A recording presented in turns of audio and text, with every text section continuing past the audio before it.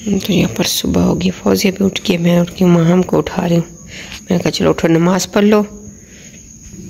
और दुआ को देखें कैसे सोई हुए मुर्गे भी अजाने दे रहे हैं।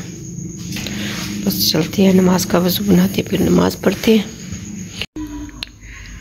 अस्सलाम वालेकुम। कैसे हैं मैं यूट्यूब फैमिली दुआ करती हूँ, आप सब ठीक होंगे? और अल्हम्दुलिल्लाह, हम सब ठीक हैं। अल्लाह पाक करे, आप जहाँ भी रहे, खुश रहे, आबाद रहे, अपने बच्चों के साथ, अपनी फैमिली के साथ हँसते और मुस्कुराते हुए रहें। अल्लाह पाक आप सबको अपने हिफ्समान में रखे। आमीन, सुम्मा आमीन, या रब।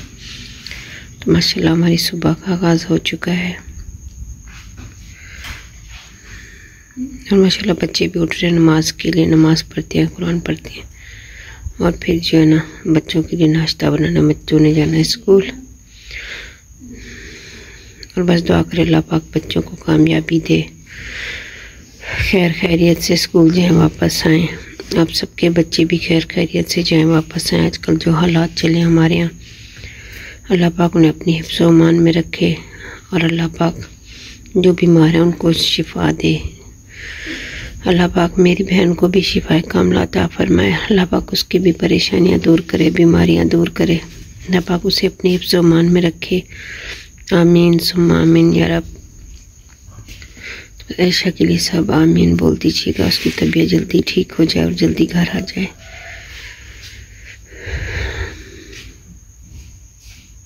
छोटो रुखसार। और यहाँ पे चाय के लिए बर्तन भी आ गया तभी चाय बनाते हैं। जूते नहीं मिल रहे। नहीं। दूसरी साइड भी देखो माशाल्लाह देखे चाँद की चांदनी कितनी प्यारी लग रही है ना।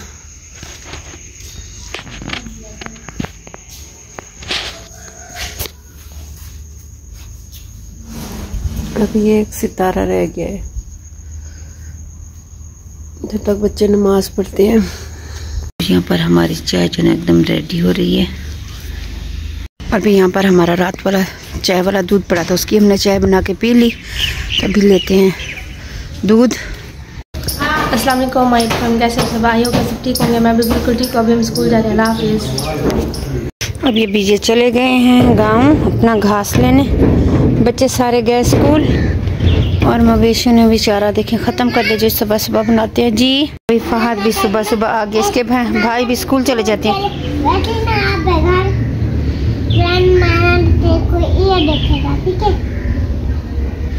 और भाई ये उससे कह रही है, आपने नाश्ता कर लिया दुआ? इसने चाय पराठा ख़त्म कर लिया अपना।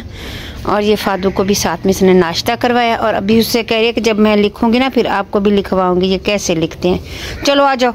और जब से ये कॉपियाँ ने पूरा दिन ये ऐसी लिखती रहती। हाँ ठीक है आ जाओ।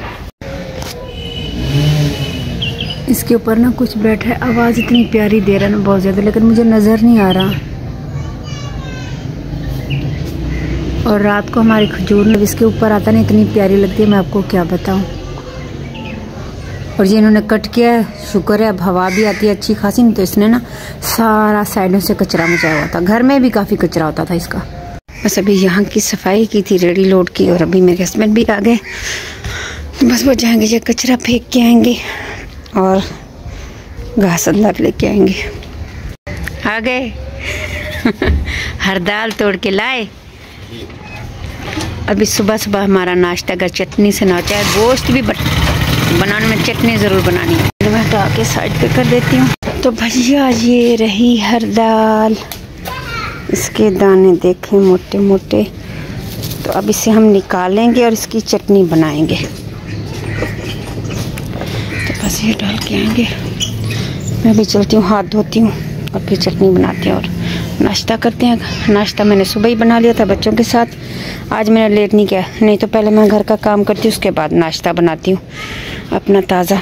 तो आज मैंने सुबह जल्दी रोटी भी बना दी थी। वालेकुम सलाम। आ गए वाले फौजिया कहाँ है? आ रही है ये गेट खोल के आ गए फौजिया भी आ गए।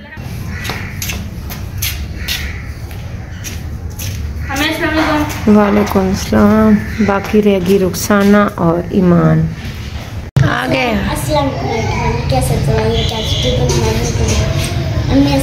वालेकुम सलाम। और ईमान कहाँ है? आ रही है। अस्सलाम वालेकुम बरकात कैसे सब दुआ करते आप सब ठीक है? मैं बिल्कुल ठीक हूँ।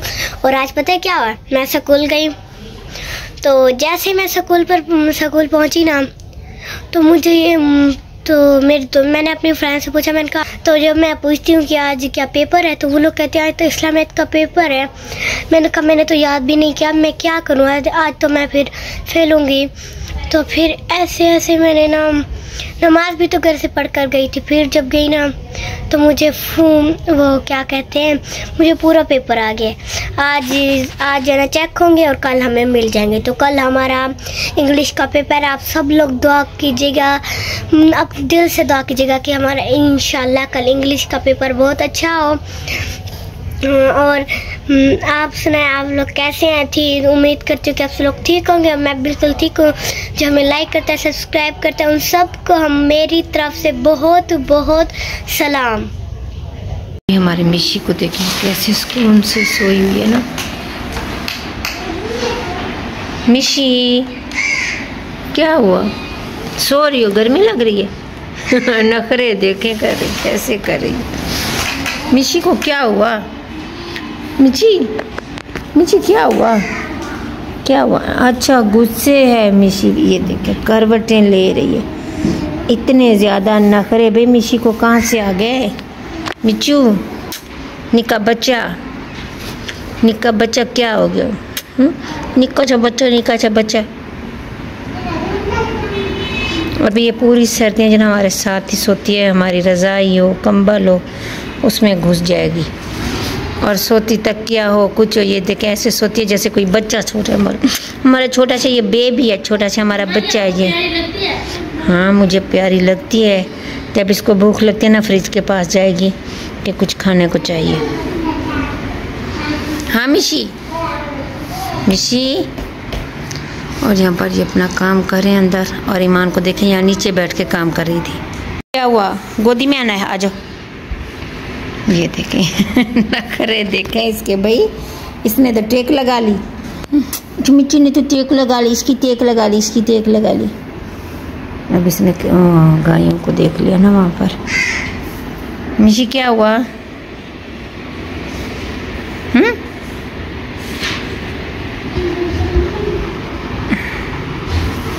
अब ये चली गई। अभी यहाँ पर बन रहे हैं हमारे घर चिकन और आलू बन रहे हैं। इसको मैंने अच्छी तरह भूनी लगा दी, हरी मिर्च डाल दी है। अभी जो है शोरबे का पानी भी डालेंगे। मज़े का सालन लग रहा है ना। कहाँ जा रही हो? भागेंगे बाहर। ईमान, कहाँ जा रही हो? भागेंगे बाहर बाग में जाएँगे और भी अभी जा रहे हैं हम लोग बाहर। और भी खाना खा लिया हमने। तो अभी जा रहे हैं बाहर वाक पर।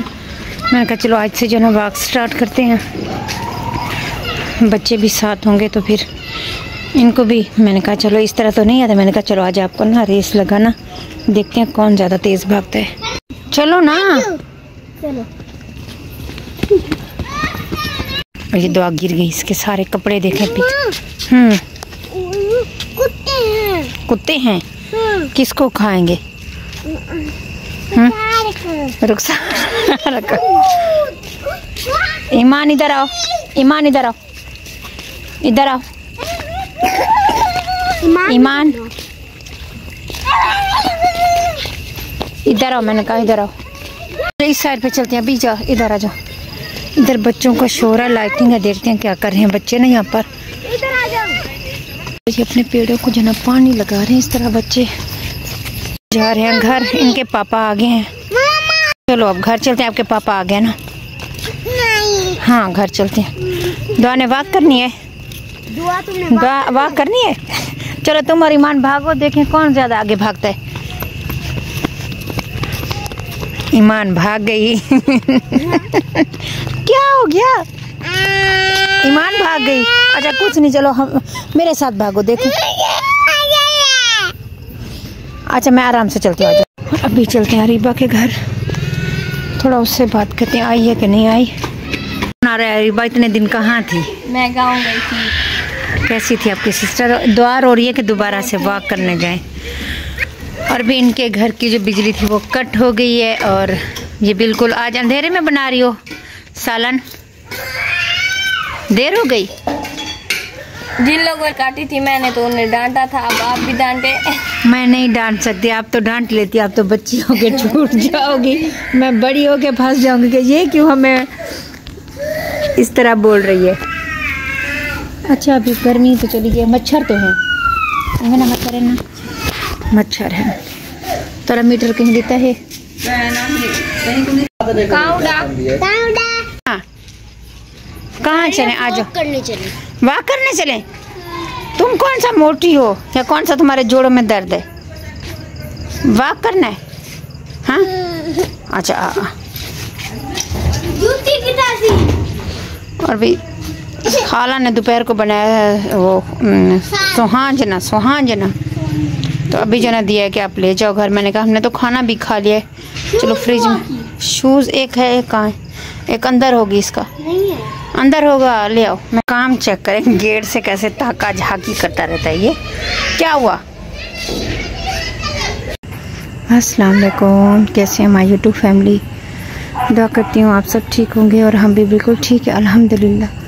अल्लाह पाक करे, आप जहाँ भी रहें, खुश रहें, आबाद रहें, अपने बच्चों के साथ, अपनी फैमिली के साथ हँसते और मुस्कुराते हुए रहें। अल्लाह पाक सबको अपनी जुमान में रखे।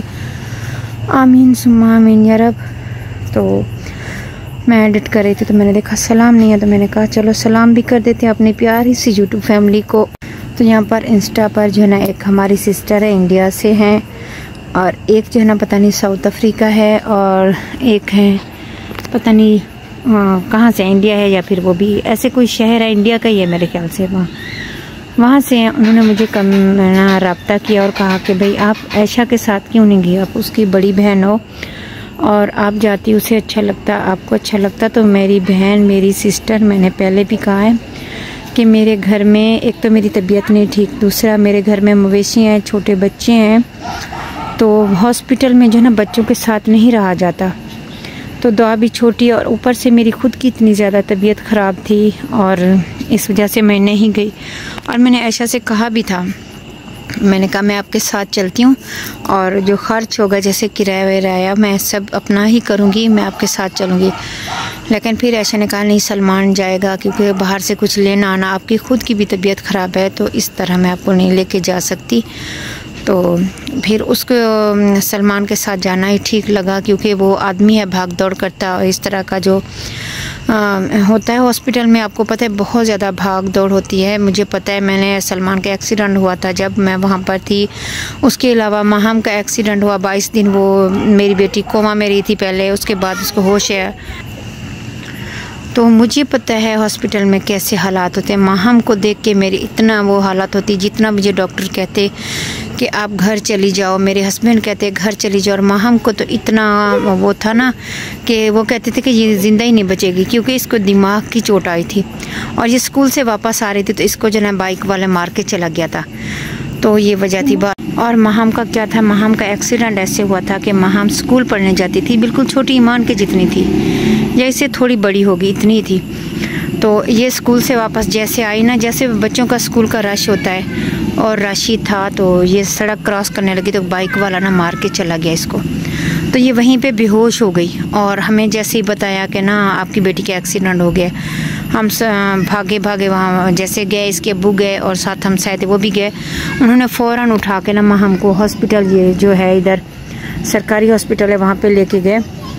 तो यहाँ से इन्होंने जवाब दिया कि नहीं भाई, आप इसे खानपुर लेके जाओ। खानपुर लेके गए, उन्होंने कहा, नहीं भी आप इसको रहीम यार लेके जाओ।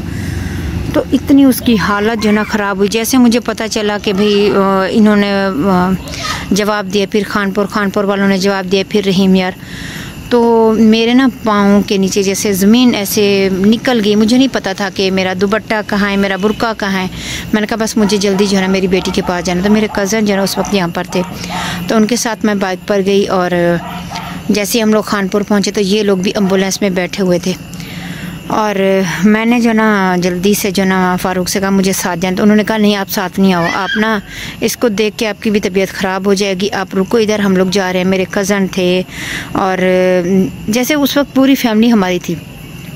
तो सब जा रहे थे। एंबुलेंस पे सिर्फ़ दो ही साथ जा सकते थे, कोई और नहीं। तो मेरे कज़न जो ना, वो नीचे उतर है और मुझे अंदर बिठा दिया। जब हम लोग वहाँ गए तो उन्होंने कहा, नहीं, इसका ना बचने का कोई चांस नहीं है। फिर उन्हें इतना जैसे होता है, उन्होंने अपनी पूरी जी जान से कोशिश की, उसके बाद जो इसको बेड पर लिटा दिया और ऑक्सीजन वगैरह लगा दिया सब कुछ। और जैसे होता है, मशीनें वगैरह सब लग गई और ये फिर तीसरे दिन डॉक्टर ने बताया कि ये कोमा में चली गई है। और इसको बिल्कुल ही कुछ नहीं पता। इसका मुँह पूरा सूज, आँख, पलकें ऐसी थी जैसे गुब्बारा नहीं होता, गुब्बारे में हवा भरे और वो फूल जाते तो महम का बिल्कुल यही सीन था। और इसको ना ये आँख के साथ जो नस होती है ना, नस वाली जगह होती है, दिमाग वाली, यहाँ पर ही बाइक की जो किल्ली होती है ना, वो अंदर चली गई थी। तो उस दिन जो मैंने वो वाक़ देखा हॉस्पिटल का, बस मुझे ना ऊपर अल्लाह याद था, जैसे बोलते हैं ना तो बस मेरा जो है ना, अल्लाह पर इतना यकीन हुआ उस दिन कि मैं आपको बता ही नहीं सकती थी। तो सबने कहा, डॉक्टर ने कहा कि भाई इसके चांस बिल्कुल कम हैं। तो मेरे हस्बैंड भी रोने लगे। मैंने कहा, नहीं, आप रोइए नहीं। अल्लाह पाक जो है इसको तंदुरुस्ती देख। मुझे यकीन है पूरा। उस वक्त भी अबू मेरे पास नहीं थे, अम्मी भी हमारे साथ नहीं थी और सब उधर सऊदी अरब में थे। उस वक्त ये नेट वाला जो है ना, थोड़ा कम ही दौर था, टच मोबाइल वाला ना। तो अम्मी भी रो के वहाँ से दुआएँ कर रही थी, सब। तो वहाँ पर मैंने देखा एक बंदे के पास मोबाइल है तो मैंने तस्वीर महाम की बना के ना, वहाँ पर भेज। दी मैंने कहा अब दुआ, हरम जाएँ तस्वीर लेकर जाएँ, दुआ मांगें बहुत, मुझे पता है मेरी बेटी ठीक हो जाएगी। तो माहम को जो है ना कितने दिन बाद, बारह, तेरह दिन बाद जो है ना, इसको जैसे हल्का सा इसने अपनी टांग हिलाई और हल्का सा जो है ना, इसने अपना बाजू हिलाया और सर हिलाने की कोशिश करती, लेकिन सर नहीं हिलता, इतना जो है ना, वजनी हुआ था। फिर मैंने जल्दी से डॉक्टर को बुलाया। डॉक्टर, और ये मुझे लगता है कहानी ऐसे ना, मेरे रोंगते भी भी खड़े हो रहे हैं। तो बस अल्लाह पाक माहम को ज़िंदगी दे और किसी के बच्चों के साथ ऐसा ना हो जो महम के साथ हुआ, सलमान के साथ हुआ। मैंने वो देखे हॉस्पिटल के मामला तो माहम की जो स्टोरी है, मुझे लगता है वो बहुत बड़ी है और अभी तक भी महाम जो है ना, हाथ में कुछ देना है। जैसे कुछ पकड़ाते हैं तो उसके हाथ ऐसे कांपते हैं। जैसे चाय का कप हो गया या गिलास हो गया तो उसके हाथ जो है ना ऐसे ऐसे कांपते हैं। तो फिर जब मैं घर आई, बाद में आपको पूरी स्टोरी घर में आई तो उसके बाद जो है इसकी यादाश्त चली गई थी। घर जैसे इसी ने बहन भाइयों को नहीं पहचाना, मेरी आंटी थी, चाची थी, उसको नहीं पहचाना, किसी को भी नहीं। सिर्फ़ मैं और फारूक को पहचानती थी, बस। बोल भी नहीं सकती थी, बस इशारे से कहती। उसके बाद जैसे घर आए तो ये सबको पहचान जो है ना, इसकी ख़त्म हो गई थी। बहन भाई सब, मेरे रिश्तेदार, मामी, चाचू सब भूल गई थी, किसी को क्या कहती, किसी को क्या कहती, ऐसे। तो बस यही था, बस, और इसीलिए ऐसा ने कहा कि नहीं, आप नहीं साथ चलो, मैं अकेली जाती हूँ। तो बस आप सब भी दुआ करें और माशाल्लाह अल्लाह के फजलो करम से इन कल या परसों वो आ रही है वापस। तो आप दुआ करें वो ठीक हो जाए, उसकी तबीयत बेहतर हो। बस मुझे है तो सी कि मैं उसकी माँ की जगह पर हूँ, मुझे साथ होना चाहिए था। पर क्या करते हैं, अपनी भी मजबूरियाँ घर की भी हैं, बच्चों की भी हैं और ख़ुद की भी। जब तबीयत ठीक हो ना तो मुझे पता है फिर सब कुछ ही ठीक होता जब खुद की तबीयत ना ठीक हो तो कुछ भी नहीं ठीक होता। तो इन तो दुआ करती हूँ कि वो खैर खैरियत से वापस आएँ। बाकी आप सबके कमेंट और सलाह जायज़ है, आप अच्छे कमेंट करते हो, अच्छी जो है ना बात करते हो मेरे से इंस्टाग्राम पर। और मेरी जो सिस्टर बनी हुई हैं, वो मुझे अच्छे मशवरे देती हैं, अच्छी बात करती हैं। जब मैं परेशान होती हूँ तो मुझे फ़ौर से व्लॉग देख के बात करती हैं कि आपको क्या हुआ सिस्टर, आप परेशान नहीं हो। हालात जो है ना आ जाते हैं ऐसे। पर इंसान ना कोशिश करता है, इंसान को हिम्मत नहीं हारनी चाहिए और ऐसा एक मज़बूत और हिम्मत वाली लड़की है क्योंकि इसने अम्मी का एक्सीडेंट भी अपनी आँखों से देखा है। उसके बाद जो है ना इसके साथ जो भी गुजरी, मुझे लगता है शुरू से ही मुसीबतों में ही इसने ज़िंदगी गुजारी है। बचपन से ये माजूर थी, चल नहीं सकती थी, बीमार हो गई और उसके बाद उसके इलाज चले, फिर कुछ जैसे कदम कदम चली, फिर आहिस्ता आहिस्ता चलना स्टार्ट हुआ, फिर सऊदी अरब गए। तो बस इसकी कहानी जो ना ये भी दुख भरी कहानी है आयशा की। ज़िंदगी में काफ़ी जो है ना परेशानियाँ आई हैं। अब तक बस अल्लाह करे अब आगे कोई ना है। बस ये मैं दुआ करती हूँ। तो मज़ीद जो है ना ये कुर्बानियाँ देने के मुझे लगता है अब काबिल नहीं बची। अल्लाह पाक बस इसे नज़र बद से बचाए और अपनी हिफ्ज़मान में रखे। तो इसने बहुत परेशानियाँ देखी हैं। मुझे पता है मेरी बहन का कि इसने कितनी जैसे आ, क्या बताऊँ, बस बहुत परेशानियाँ देखी हैं। बस मैं बयान नहीं कर सकती, वाजे नहीं कर सकती कि कहाँ पे क्या हुआ, किस मोड़ पे इसके साथ क्या हुआ। बस अल्लाह पाक ने अब माशाल्लाह अच्छा घर दिया अच्छा शोहर दिया है। और अभी परेशानियाँ जो है ना, वो अल्लाह की तरफ़ से ही होती हैं, बीमारियाँ अल्लाह की तरफ़ से ही होती हैं। आजमाइश होती है तो बस इस आजमाइश में अल्लाह पाक करे, वो पूरी उतरे और आगे अल्लाह पाक बेहतरी करें। तो बस आप सब भी दुआ करें, उसके लिए बहुत ज़्यादा दुआएँ करें दिल से। बस ये होता है कि कभी कभी जैसे मैं बोलती हूँ, हर बार लोग कहते हैं, आप अपनी अम्मी को अम्मी नहीं तो मैं अम्मी ही समझती हूँ, ये नहीं कि नहीं। लेकिन एक माँ की जो कमी होती है, हमें हर वक्त महसूस होती है कि काश अम्मी आज, जैसे कोई होता है कि छुट्टी आता है या इस तरह का कुछ होता है। तो ये सीन भी नहीं है, फिर ये सोचते हैं कि काश अम्मी होती। तो ऐशा के साथ रहती हैं या मेरे साथ रहती हैं या छुट्टी आ जाती हैं, जैसे ऐशा की तबीयत ख़राब थी, गर्मी होती तो वो सुनकर नहीं बैठ जाती। तो मुझे लगता है वो फ़ौरन से जैसे मेरी तबीयत कुछ ही ख़राब हुई तो, तो जैसे यहाँ से मेरे मामू ने कॉल की कि नजमा का ये हाल है तो मेरी अम्मी ने उसी वक्त टिकट ली और दूसरे दिन आ गई कराची। और फ़ौरन से एयरपोर्ट से फ़ौरन से अम्मी ने कहा कि नहीं मुझे जल्दी ट्रेन की टिकट नहीं मिली तो अम्मी बस पे ही यहाँ पे आ गई थी। तो मेरी अम्मी ऐसी थी तो अब सोचें कि ऐशा का ये हाल है तो अम्मी क्या रुकती वहाँ पर? नहीं रुकती। तो बस यही होता है कि एक बेटी को अपनी माँ की कमी जो है मरते दम तक नहीं भरती जैसे कमी होती है। तो हमें ऐसा लगता है कि भाई एक माँ जो है ना बस उसका होना बच्चों के लिए बहुत ज़्यादा ज़रूरी है। दुख में, सुख में तो माँ जो है ना, माँ होती है बस। आप दुआ करें मेरी अम्मी के लिए अल्लाह पाक उनको जन्नत और फिरदौस में आला मकाम दें। आमीन सुम आमीन। या रब, बाकी हमारी ये भी अम्मी अच्छी हैं, बहुत अच्छी हैं। और हर जो है ना जितना आप अपनी माँ के लिए सोचते हो और इतना सोचते हो, हद से ज़्यादा सोचते, अपनी माँ को प्यार करते हो, सबका जहन यही होता है। और हम भी अपनी अम्मी से बहुत प्यार करते थे, बहुत। और हम इस वाली अम्मी से भी बहुत प्यार करते हैं, ये भी हमारा ख्याल रखती है। और बस हर जैसे एक दिल का कोई कोना या फिर ऐसा कुछ एक चीज़ रह जाती है कि काश माँ होती, काश यहाँ पे माँ होती, काश हमें, हमारी माँ की कमी जो है इतनी ज़्यादा जैसे होती है। किस चीज़ से भरी जाए तो कोई ऐसी चीज़ नहीं है। तो कभी कभी दिल ऐसा सोचता है कि बहन भाई जो होते हैं, बोलते हैं ना कि बहन भाई मिलकर बैठें तो माँ बाप की कमी पूरी होती है। तो अब वो भी सीन नहीं रहा जो हालात पैदा हो गए हमारी फैमिली में या फिर बने हैं जो हालात। बस अल्लाह पाक सबको तरक्की दे, कामयाबी दे, दुआ ही कर सकते हैं। बाकी अब तो वो दौर ही ख़त्म हो गया कि कहीं हमारा मिलना होगा सामना होगा। ज़िंदगी में कहीं बैठ सकेंगे एक दूसरे के साथ कोई बातचीत कर सकेंगे। जैसे कुछ होता है ना कि बचपन को याद करके बहन भाई बैठते हैं तो हँसी आती है इस चीज़ पर। उस अब वो मुझे लगता है वो सीन ही नहीं रहा। आ, वो सीन इसलिए नहीं रहा आ, आ, बच भी जाता है अगर ये भी होता तो कुछ नहीं ये झगड़े थे जो भी था ये एक तरफ़। अगर अम्मी ज़िंदा होती तो ये सब चीज़ें मिट जाती।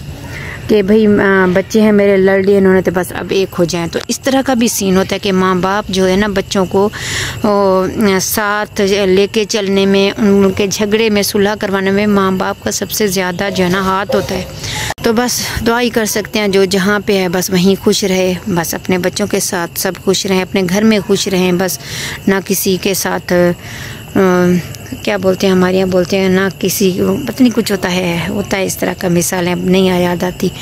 अम्मी अक्सर मुझे मिसालें देती, मैं कहती, अम्मी, आप हर बात पे मिसाल देती उसका कोई फ़र्क वो तर्जमा बताता अम्मी कहती हाँ अब वही मिसालें याद आती हैं और तर्जमा भी खुद से ही आ गया कि हाँ इसका ये मकसद था, इस बात का ये तर्जमा था। तो बस अल्लाह पाक सबको खुश रखे, हस्त और मुस्कुराते हो रहे मिलेंगे कल एक नए ब्लॉग और नई रूटीन के साथ, तब तक के लिए मुझे दीजिए इजाज़त, अपनी बहुत सारी दुआओं के साथ। अल्लाह हाफिज़। years